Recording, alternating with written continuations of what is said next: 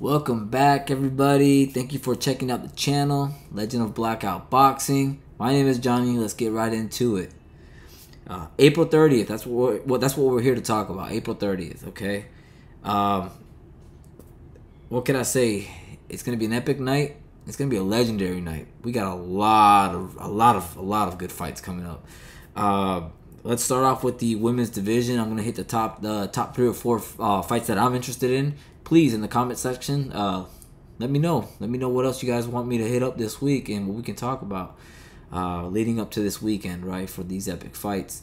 Uh, we'll start off with uh, the heavy hitting diva, uh, Franchon. I think I said that right, right? Is it Franchon? Franchon? The heavy hitting diva Crews. All right, super middleweight. She's, uh, I believe, the WBC and WBO title holder right now, if I'm not mistaken. Please let me know. Uh, yeah, Franchon's coming in with a seven and one uh, record with two knockouts. Uh, I think, I believe, if I'm not mistaken, also her early defeat is to Claressa Shields. I think they fought once upon a time. I might have been like the her her debut fight, if I'm not mistaken. Um, yeah, for you guys don't know, uh, uh, Crews is a hell of a fighter. Um, I you know I'm super impressed uh, with the progress that she's made. She fought and uh, she fought her heart out against uh, I forget the girl's name, uh, Spanish fighter, uh, Hispanic fighter uh, who got caught using PEDs. but yeah, you know Crews is a hell of a fighter. She's fighting um, Cedrios. Did I say that right? Elin Cedrio Cedrios Okay, 8 and 0, four knockouts. Um, she's holding the IBF and the WBA titles. Yes, this is a undisputed bout that's that's gonna happen this weekend. Um, I can't wait. This is gonna be a, a great fight, action packed. I don't, I don't, you know, I don't, I don't expect anything less from this fight. Um, I'm not too familiar where familiar with Elin uh, Cedrius. I don't know if I said that right. I'm sorry, Elin. Don't you know? Um, not familiar with her, but um, I I've seen uh, uh, the heavy hitting diva, and she's she's legit, man. She could throw down, she could fight. Um, we'll see what that you know. We'll see how that plays out. Uh, I'm gonna have to do some research, and maybe I might make another another video on um, Elin uh, Cedrus. Maybe I'll figure out how to pronounce her name. Uh, no disrespect, Elin. Uh, but I'll, I'll, do some more research. Uh, I just wanted to get this video out there because I, I, you know, fight week. It's like, man, we're we're literally like a couple days from weigh-in. It's gonna be great. Um, with that being said, that's for the super, uh, the females, uh, super middleweight, uh, undisputed championship. That's all the belts. Okay, all the major sanctions, all four major sanctions. All right. Uh, man, I've been talking about, I've been talking about Amanda, the real deal Serrano lately to all my colleagues and all my buddies on uh, my Instagram feed. Uh, yeah, man, Ser- uh, Serrano is uh, the only female that's captured uh, titles in seven different weight classes. Okay, seven different weight classes. This is this is this that itself is incredible. Uh, Serrano to me is the uh, no disrespect to any other female fighter out there, but uh, boxer. But Amanda Serrano by far to me is the goat. She's uh, the guat. She's the greatest woman of all time. She's I mean you know the numbers numbers speak for themselves. Um, she's the only woman that's captured. You know she's a seven division champion. Uh, that's a great feat. That's a, that's an amazing feat itself. Uh, but she is fighting Katie Taylor who right now is under. I believe she's the undisputed champion uh, at the lightweight, the females lightweight division. Uh, Katie Taylor is twenty and zero oh with uh, six knockouts. Um, hell of a boxer. She's got great IQ.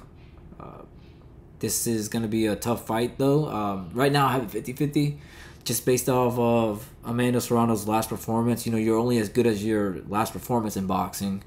Uh, uh, Serrano has an impressive record though. With uh, she's got more than double the fights.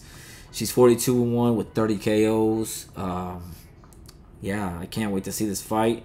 This is also again for the light, uh, the women's, uh, the females lightweight uh, undisputed championship. Again, two undisputed championships in one night, same card. This is gonna be, like I said, legendary in itself. Um, listen, I uh, I don't really like to get into these things, but women's boxing, women's uh, women in combat sports in general don't get the credit they deserve. They put it all uh, all out there on their uh, on the line, just like the men do. Uh, but I am glad that uh, they're getting the attention they deserve uh, for the uh, for these uh, fights that are that are you know getting put together now finally. But um, yeah, you guys tune in. Um, tune in. Uh, I believe it's DAZN uh, through the app. Go ahead, make the purchase. You know, support uh, not just uh, the females, uh, but just boxing in general. You know, do your do your thing, guys. Um, Serrano has a lot of power. Her record says it itself. She's got 30 KOs. Um, you know, uh, none of that matters though if you can't you can't you if you can't touch Katie Taylor, right? Katie Taylor can box. Um, like you know, she's she's she's she's she's she's a master at what she does. Um, but yeah, I can't wait to see that fight. That fight's gonna be awesome. Uh, quick little note here. I did I do remember this though. Katie Taylor did beat Cindy Serrano, which is Amanda Serrano's sister. So Amanda, if you somehow see this in the next couple days, I'm gonna be just absolutely adding you on Instagram. Okay. Um, yeah, I, I think that'd be a sweet revenge. Uh, you know, for your family. Uh, and man, you, you know, this is just gonna be one heck of a fight. I love it. I love the matchup here. Uh, let's get it going. Uh, now moving on to the men's uh, uh, divisions, uh, we do have a former Olympian that's been catching my attention, anyways, and I'm sure most of everybody's attention that follows boxing, and that's uh, Keyshawn Davis, the businessman. Uh, he's 4 0, three knockouts. Uh, he's uh, stepping up, I believe, in caliber and competition.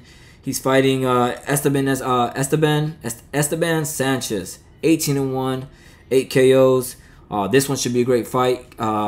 From what I I don't know too much about Esteban. Uh, I will do more research, but um, we all know Davis is a great prospect. He's got a lot of potential. Uh, an exciting fighter. I can't wait to see what he does this weekend. It should be a fun fight. Should be a great fight. Um, I'll definitely be checking that out. Uh, but uh, onto the uh, you know the the men's uh, headliner is going to be Shakur Stevenson, former former Olympian. Uh, he's 17 0 with nine knockouts, I believe. Yep, 17 0 with nine knockouts. Uh, facing uh, you know uh, Oscar Valdez, 30 0 with uh, I believe Valdez has 20. He has 23 knockouts, 30 0, 23 knockouts. Um listen, this is gonna be a great fight. Uh, Shakur Stevenson has the WBO title. Valdez has the WBC uh, super featherweight championship.